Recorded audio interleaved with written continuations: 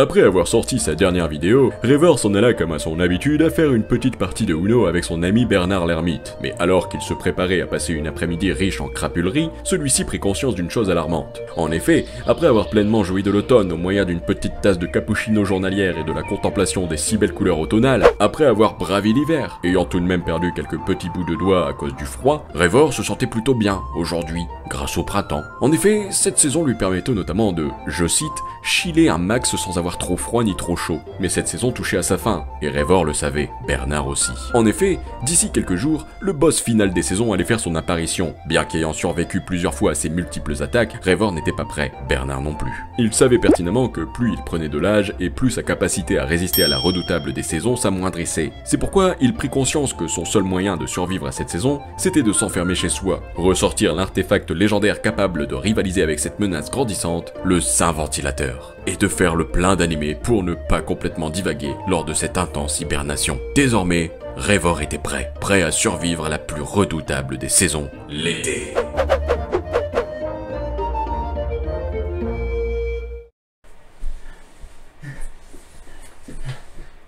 J'ai chaud. Sans déconner, c'est quoi cette chaleur Je suis littéralement en train de fondre et pourtant j'ai un ventilo. D'ailleurs, ça vous dérange pas si je vous parle d'ici?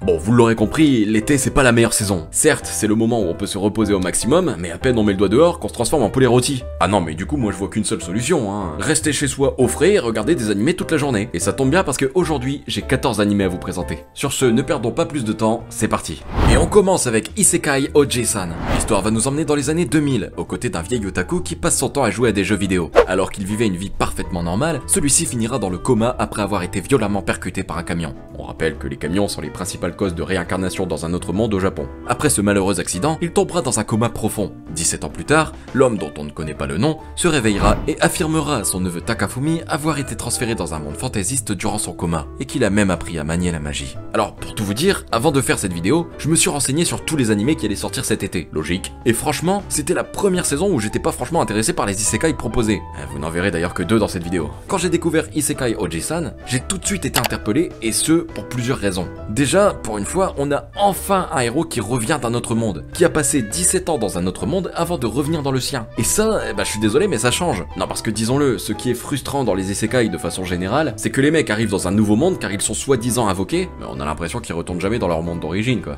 Ah, c'est pas une invocation à ce niveau-là, c'est une séquestration. Et du coup, voir que ici, le héros revient dans son monde après une longue période, ça me donne vraiment envie. Parce que du coup, en voyant le trailer, j'ai vraiment l'impression qu'on va sans cesse jongler entre monde fantaisiste et monde réel. Et ce qui me hype dans tout ça, c'est que j'ai l'impression qu'on va vivre la phase isekai de l'oncle de Takafumi à travers plusieurs souvenirs, comprenant ainsi ce qu'il a vécu pendant 17 ans. Alors au départ, je pensais que sa soi-disant invocation dans un autre monde était simplement due à une sorte de rêve prolongé à cause de son coma, sauf que au vu du trailer, bah il a vraiment l'air de savoir manier la magie le boog. Autre point qui me plaît beaucoup, c'est que l'animé prend bien en compte que 17 ans, ça représente presque deux décennies. Bon jusque là je vous apprends rien. Et que en deux décennies, bah il s'en est passé des choses. Par exemple, on voit au tout début du trailer que l'oncle de Takafumi prend connaissance de tous les changements qui se sont produits, notamment sur l'évolution d'internet, de la téléphonie, mais aussi et surtout des jeux vidéo. Et du coup, je pense qu'à la manière de parler Picome, on pourrait avoir une phase comique, notamment au travers des découvertes de notre héros, vraiment plaisante. Bref, du coup, rendez-vous le 6 juillet 2022 sur Netflix pour découvrir ça.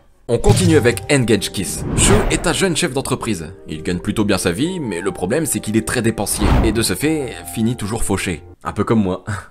Sauf que moi je suis pas dépensier, je suis juste pauvre. Cette façon de vivre inquiète beaucoup les collègues de Shu, et notamment Kisara, une femme qui fréquente les locaux de la société. Elle est tellement inquiète pour son bien-être qu'elle a tendance à s'immiscer un peu trop dans sa vie. Le problème c'est que Ayano, l'ex-petite amie et collègue de Shu, ne semble pas vraiment indifférente quant à ce rapprochement, et semble bien déterminée à le faire comprendre. Alors pour tout vous dire, quand j'ai lu le synopsis, j'étais pas franchement chaud. Ok, ça avait l'air d'être un bon slice of life plutôt divertissant avec des héros qui, pour une fois, sont des adultes, mais à part ça, je me disais que l'histoire allait vite tourner en rond, racontant les péripéties certes comiques d'un triangle amoureux, mais quelque peu répétitives. Mais malgré tout, j'ai tout de même décidé de regarder le trailer. Par acquis de conscience, quoi. Et au final, euh, quelle surprise Ah bah comme quoi faut pas juger un animé à son synopsis. Non parce que, comme je le disais, le début du trailer nous montre effectivement ce qui s'apparente à un slice of life plutôt basique, mais quelques secondes plus tard, on nous montre des sortes de monstres hyper violents, des armes de bourrin à foison et des bastons de partout. Et du coup, rien que pour ça, bah ça m'intrigue. Après tout, on sait pas vraiment ce qu'est réellement l'entreprise de Shu. Si ça se trouve, c'est un tueur de démons ou je ne sais quoi. Bref, si vous aussi vous êtes intrigué, alors rendez-vous le 2 juillet 2022. Malheureusement, l'anime n'est pas encore licencié en France, mais je pense très honnêtement que ça arrivera dans les prochains jours. De toute façon, d'ici quelques temps, je remettrai un commentaire épinglé comme j'avais pu le faire dans la précédente vidéo pour euh, mettre à jour les informations en temps voulu. Donc euh, restez à l'affût.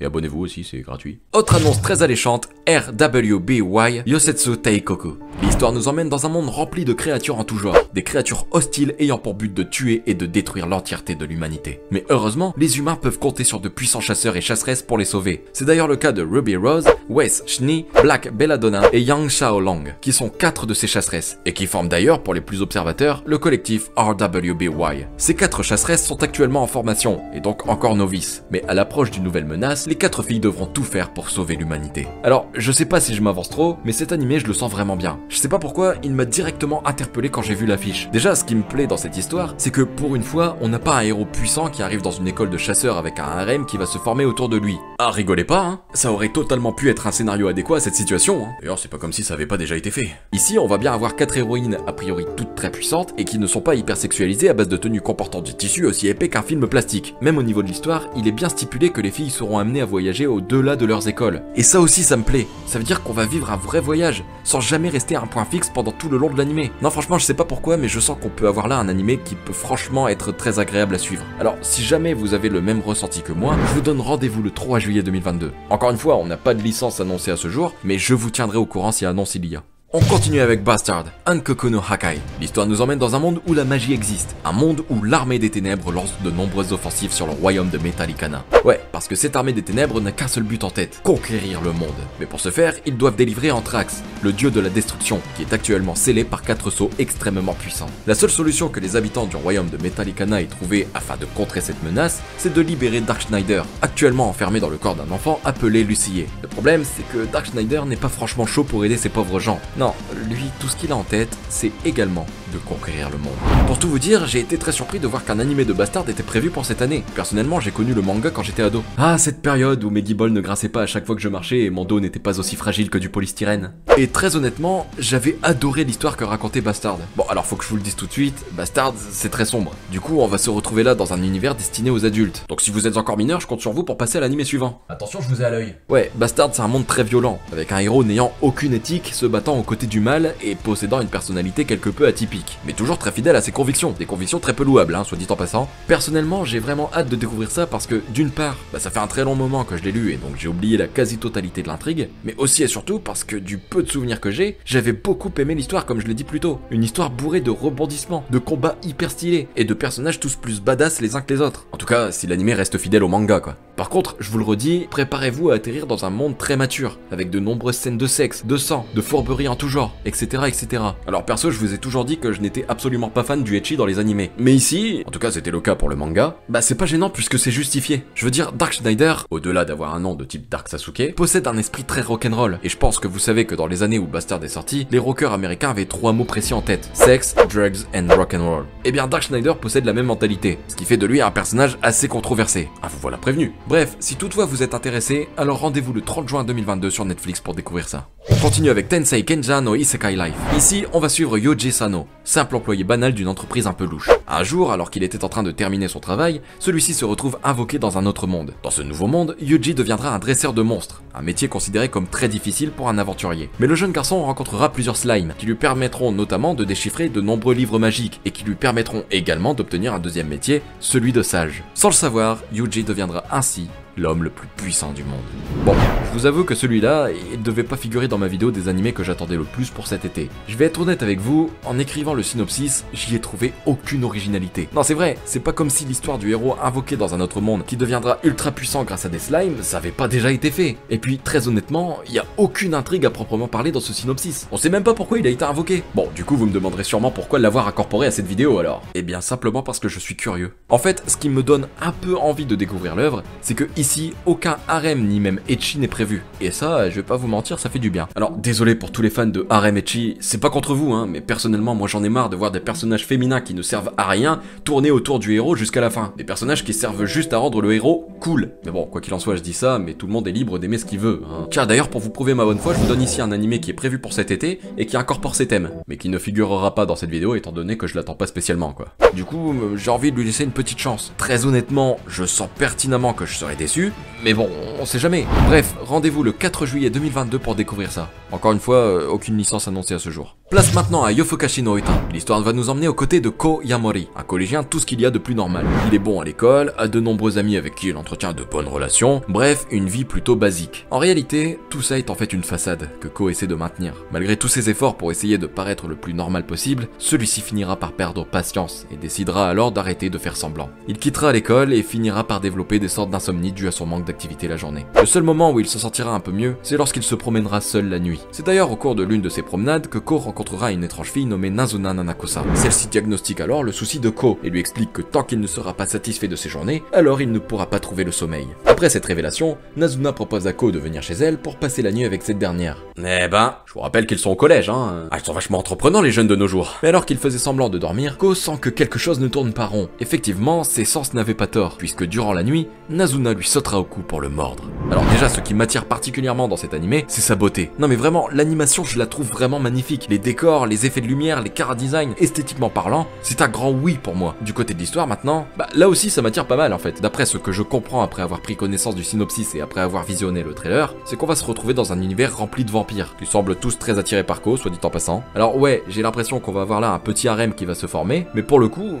ça me dérange pas forcément. Tout dépend de comment il va être amené en vrai. Honnêtement, le côté un peu loufoque de l'animé me rend curieux, surtout au niveau de son héros. Je sens que cette œuvre va être un peu plus psychologique que ce qu'on pense, et que même si on va avant tout se retrouver dans un slice of life surnaturel, l'histoire pourrait nous surprendre. Faut dire que j'ai lu plusieurs avis sur le manga et pratiquement tous ceux que j'ai lus étaient très bons. Alors euh, du coup, euh, j'y crois. Bref, rendez-vous le 7 juillet 2022 pour découvrir ça. Encore une fois, pas de licence annoncée à ce jour, mais patience, promis, ça va venir. On continue avec Bochigere. Bochigere nous emmène dans le Japon du milieu du 19e siècle, une époque qui se situe à peu près en pleine transition entre l'époque Edo et l'époque Meiji. Si mes souvenirs de mes études sur l'histoire du Japon ne se trompent pas. Après, j'ai eu 18 en histoire quand j'ai obtenu ma licence, alors... euh, Ah bah permettez-moi de flex un peu Durant cette époque, le Shinsengumi, une milice de samouraïs chargée de faire régner l'ordre à Kyoto, est sauvagement assassiné par un total inconnu. Durant cette tuerie, l'inconnu décidera de ne laisser qu'un seul survivant. La paix de Kyoto devant à tout prix être préservée, il est primordial de reconstituer le Shinsengumi au plus vite. C'est pourquoi, afin de remplacer les membres assassinés, il est décidé de recruter 7 criminels.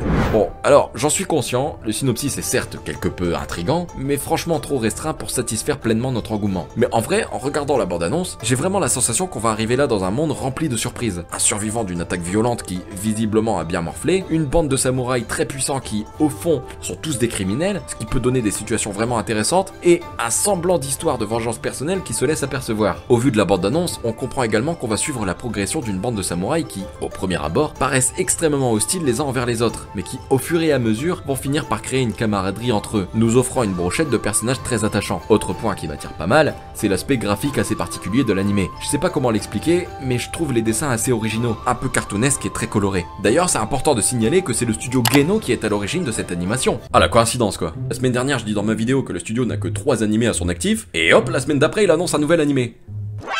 Oh là là, je n'atteindrai jamais les 20 000 abonnés. Rendez-vous la semaine prochaine pour voir si ça va se réaliser. Bref, du coup, rendez-vous le 8 juillet 2022 sur Crunchyroll pour découvrir ça. Cet été, on aura également le droit à Extreme Earth. L'histoire nous emmène dans le quotidien de Hiyori Ayama, une jeune chanteuse tout ce qu'il y a de plus normal. Un jour, à la suite d'un incident, cette dernière fait la découverte de l'hypersport, une compétition populaire auprès des enfants et des adultes. C'est alors que peu à peu, Hiyori décidera de s'intéresser à cette compétition. Alors, je suis conscient que cet animé ne pourra pas plaire à tout le monde, mais pour tous ceux qui aiment le sport comme moi, quoi, c'est vrai, hein, j'aime le sport. Vous rappelle que je sais faire deux pompes et que j'ai récemment passé la barrière psychologique des 5 abdos. Et bien ici, on sera servi, parce que Extreme Earth ne met pas qu'un seul sport à l'honneur, mais bien plusieurs. En regardant la bande-annonce, on peut notamment apercevoir du foot, du basket, du baseball, tout un tas de sports très diversifiés et qui, personnellement, me donnent beaucoup envie. C'est un peu le Wii Sport des animés, quoi. Qui plus est, faut avouer que les matchs ont l'air franchement badass, et ça promet, à mon avis, d'offrir des compétitions vraiment intenses. Faut noter aussi que l'animé parlera de musique, étant donné que l'héroïne est chanteuse à la base, et ça aussi je trouve que c'est un thème non négligeable. Bref, je sais pas si Extreme Earth aura une histoire hyper bien construite, mais ce dont je suis sûr, c'est qu'il fera un animé parfait pour se détendre et passer un bon moment. Du coup, si comme moi vous nourrissez un quelconque intérêt pour l'animé, alors rendez-vous le 9 juillet 2022.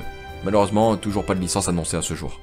On continue avec Hoshi no Samidare. L'histoire nous emmène dans un monde menacé par un gigantesque maillet spatial. Un maillet qui visiblement serait capable de fendre la Terre en deux. Pour contrer cette menace, le chevalier lézard Sir Noi Crézan, je sais pas si c'est la bonne prononciation, à mon avis ça m'étonnerait, notamment connu pour son courage, part à la recherche de Yui Amamiya et de la princesse Samidare, les deux seules personnes capables de sauver la Terre.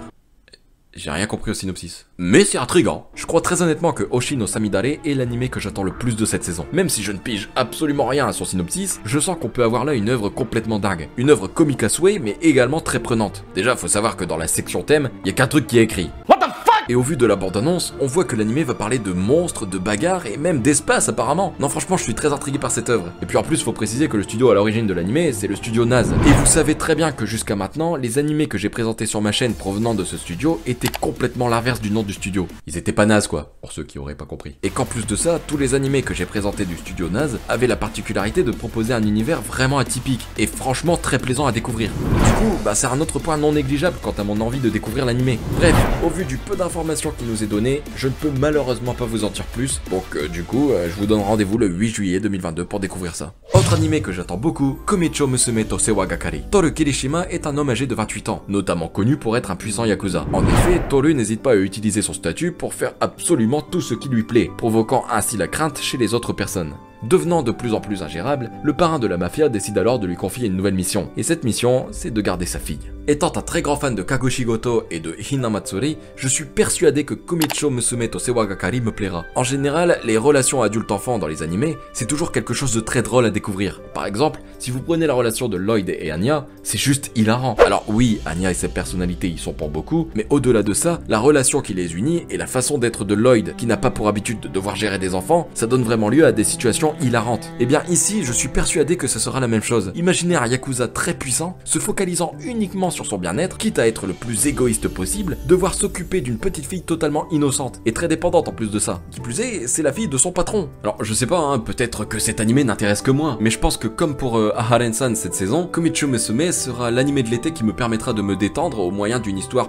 plutôt attendrissante et vraiment plaisante à découvrir. Alors, si vous aussi vous êtes intrigué par cette œuvre, rendez-vous le 7 juillet 2022. On continue avec Rikori Serekoil. L'anime va suivre le quotidien de deux jeunes filles, l'une Chisato Nishikigi et l'autre Takina Inoue. Toutes deux travaillent au Rikoriko, un café japonais situé dans le vieux Tokyo. Ce café a notamment la particularité de servir de nombreuses douceurs, telles que de somptueux cafés, de délicieux gâteaux et toute autre chose très alléchante. Mais ce n'est pas tout puisque le café propose d'autres services un peu différents. Ouais, parce que les serveuses du Licorico sont également de redoutables tueuses de zombies et de monstres géants. Bon, est-ce que j'ai besoin de vous dire pourquoi cet animé m'intéresse autant? J'ai toujours aimé le contraste entre mignonnerie et horreur, comme on avait pu le voir dans Madoka. Et du coup, ici, j'ai l'impression qu'on pourrait avoir à peu près la même chose. Des filles qui semblent a priori inoffensives, se retrouver à devoir tuer de nombreux monstres très dangereux, bah ça m'intrigue. J'ai envie de savoir d'où viennent ces monstres, pourquoi ils sont là, mais aussi de découvrir l'histoire des deux héroïnes qui, à première vue, comme je l'ai dit, paraissent toutes inoffensives et très sympathiques, mais qui, lorsqu'elles combat, se transforment en machine à tuer franchement badass. Voilà, j'ai rien d'autre à ajouter, à part que ça m'intrigue, mais ça je pense que vous l'aurez compris. Bref, du coup, euh, rendez-vous le 2 juillet 2022 pour découvrir ça. On continue avec Mama Haha no Tsurego ga Motoka no Datta. L'histoire nous emmène dans le quotidien de Hiredo Mizuto, un jeune étudiant qui, lorsqu'il était au collège, sortait avec la belle Ayai Yume.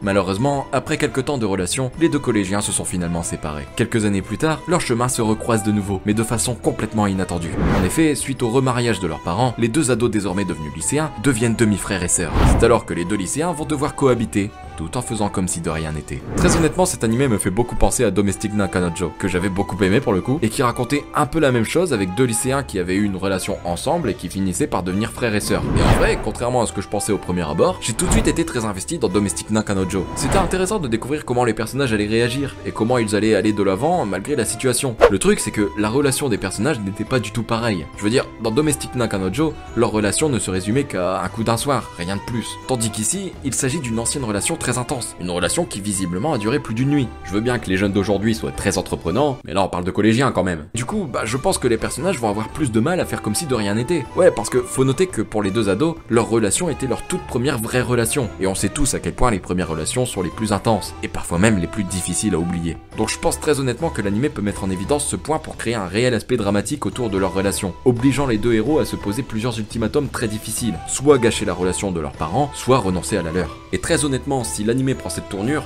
je sens qu'on peut avoir là un très bon animé romantico-dramatique. Bref, rendez-vous le 6 juillet 2022 pour découvrir ça. On passe maintenant à un animé que j'attends énormément, Futopi. L'histoire nous emmène dans la ville de Futo. Cette ville est notamment connue car les criminels qui y sévissent utilisent une technologie nommée Gaia Memories, leur permettant de se transformer en monstres surpuissants que l'on nomme dopants. Grâce à ces pouvoirs qui leur sont conférés, les dopants sèment le chaos. Mais cette technologie n'est pas réservée qu'aux criminels. En effet, il existe plusieurs héros utilisant le même dispositif. C'est par exemple le cas du détective Shotaro Hidari avec son partenaire spirituel Philippe, se transforme en un être surpuissant nommé Kamen Rider W et qui est considéré comme le héros légendaire de la ville de Futo. Le truc c'est que la société vendant cette technologie a dû fermer pour plusieurs raisons et de ce fait le Gaia Memories n'est plus distribué. Cependant, il reste tout de même des personnes mal intentionnées en possession de cette arme, des personnes qui, s'adonnant à la criminalité, se doivent d'être arrêtées. Une mission que Kamen Rider W se promet d'accomplir, quoi qu'il en coûte. Bon alors malheureusement je peux pas vous en dire plus sur cet animé parce que on n'a pas grand chose en fait. Pour tout vous dire, au moment où je tourne cette vidéo, j'ai seulement 4 images, un trailer de 30 secondes et un synopsis très énigmatique. Mais si je l'ai ajouté dans cette vidéo, c'est parce que selon moi, l'anime a du potentiel. Déjà, le synopsis est très intrigant, mais qui plus est, pour moi qui adore les enquêtes et les mystères, bah cet animé tombe à pic. En regardant le trailer dans son intégralité, on remarque également une petite musique bien jazzy qui correspond bien au vieux polar en général. Du coup, j'ai vraiment envie de découvrir comment ils vont incorporer ce côté un peu old school à base d'enquête avec un peu de surnaturel. Bref, ne pouvant en dire plus sur l'œuvre, rendez-vous le 1er août 2022 sur Crunchyroll pour découvrir ça. Et pour finir, Soredemo Ayume wa Yosetekure.